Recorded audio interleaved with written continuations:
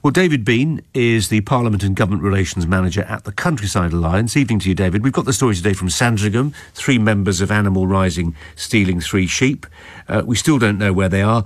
Um, they've stolen them and then they've taken them to a place of hiding. What do you make of it all? Well, of course, animal rights activists stealing animals from various types of places, including farms, uh, in some cases, it's been research labs, is nothing new. But I think what's interesting about this particular case is the organization responsible. As you said, it's Animal Rising, uh, which only recently changed its name to that, having originally been founded as Animal Rebellion. Uh, and as you can tell from the name, uh, they were an offshoot of Extinction Rebellion, which is obviously very well known for a lot of its protests that are going on. Um, the interesting thing about that is that it's essentially supposed to have been started off as a protest uh, against, uh, in, in relation to climate change. Uh, the central contention has been that livestock farming is in some way worse for the environment uh, than other forms.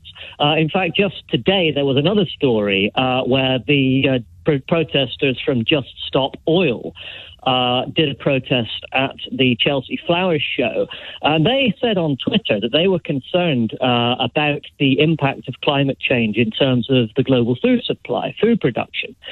I think what we can see is that there's such an inherent contradiction in what these movements' goals really are.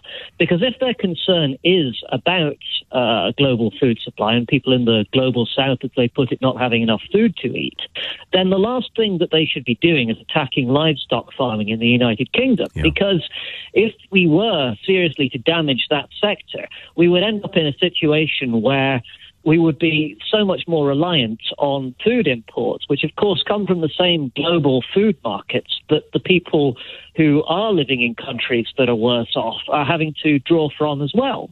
And, and if nothing else, David, that reminds us of why we have to be conscious of our own food security in, in an island where actually a lot of the land is apt for growing grass, and grass is a very good way of, uh, of producing high protein food, also called uh, livestock.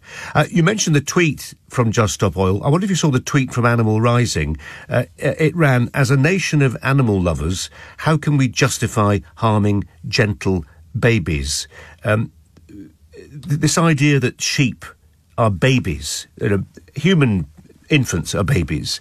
Um, this anthropomorphization, which I think is is increasingly prevalent. You could argue that people people have got this Disneyfied view of the food chain, of the way nature, which, as you know, is red in tooth and claw.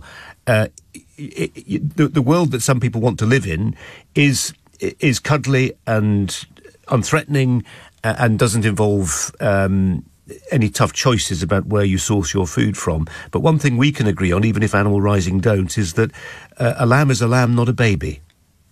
Yes, that's exactly right. And I think the, the term you use of anthropomorphism is exactly the right one because, in essence, people are ascribing human characteristics to animals uh, and they're sort of treating them as though uh, animals have the same uh, capabilities as humans uh, in terms of feeling emotions, reasoning. That's why people refer to animal rights in the first place. I don't agree with the concept of animal rights because I think that if you are a, a, being of any sort, which is to have rights, then you must be capable of reasoning and existing within a kind of a moral framework. And, and exercising responsibilities. And exercising exactly. responsibilities. Um, yes, indeed. Uh, I just wonder where this stops. I wonder when, if sometimes really think people think this through. I've argued before that part of the problem here is that people think, oh well, you know, they're, they're, they're cuddly activists. They're not doing any harm really. But if you look into the, the, the, the long term objectives and the ideology of some of these organisations, they, they, the, the, the first principles are they want to stop any harm to animals. And that ultimately ends up, for instance, with taking a view on all domesticated animals, not just those that enter the food chain, but those we keep as pets. Uh, so those 10 million dog owners in the UK who think animal rights have no place in their life and no threat to their future enjoyment of a companionship of an animal need to think again.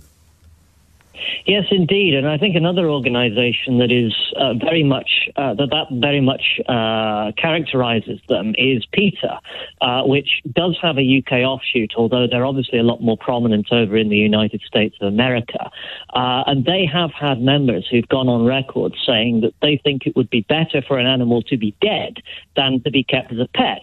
You know, a lot of these times they're talking about uh, cats and dogs that are beloved members of the families that they're part of. Uh, and yet, because of this ideological view that animals and humans should, in a sense, be kept separate, um, that, that humans should have nothing really to do with animals except perhaps watching them from a very great distance in the wild, uh, that's what leads you to this kind of conclusion. There will be, David, those people who say, from animal rights groups, and I'm mindful of what you said about the use of the word rights, but I can't think of an alternative way of describing them. People would know what we mean. Sure. Um, the, well, that, I mean, that is that is how they would describe it, themselves. Indeed. They obviously they take a different view. And, and, part of their pitch is we don't need we don't need meat in the food chain. We've got we've got plant based alternatives. Uh, the Observer uh, on Sunday pointed to the fact that um, we may have seen uh, peak veganism uh, in the UK. Um, the, the, headline ran, uh, while it's claimed the global vegan market may be uh, worth as much as £50 billion by 2030, sales of many products in the UK have flatlined or fallen. What's going on? Well, this is the thing. I mean, when when you project uh, future growth of markets, um, it tends to be based on looking at an upward trajectory and assuming that it's going to go on forever. But I think, honestly, the number of people who are persuadable to fully become vegan is going to have a, a ceiling to it. Uh, and we may very well have reached that ceiling already at this point.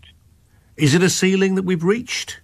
David Bean, who's with the Countryside Alliance, says maybe we have. Has veganism hit its peak.